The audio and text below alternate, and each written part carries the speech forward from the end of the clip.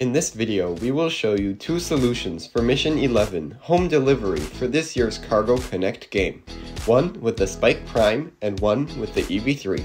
For this mission, points are awarded for delivering the package so that it either sits partially or completely on the doorstep. Here's our solution for the Spike Prime Advanced Driving Base. For this mission, we use a scoop attachment made of beams, pins, and axles to hold the package securely while we transport it. To complete the mission, we simply lower the scoop onto the doorstep, causing the package to slide out and land completely on the doorstep.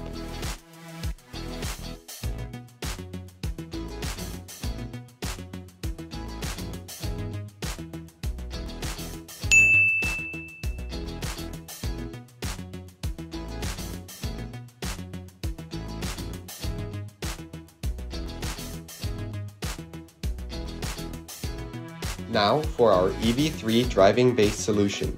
We again use a basic scoop attachment made of beams and axles to carry the package. Similar to our Spike Prime solution, we simply drive to the mission model and lower our scoop to score points for the mission.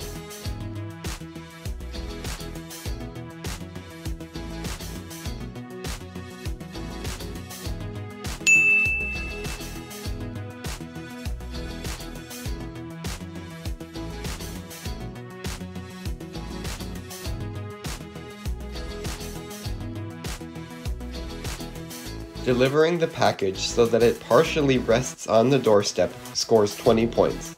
Another 10 points are scored if the package is completely on the doorstep, for a total of 30 points possible for Mission 11.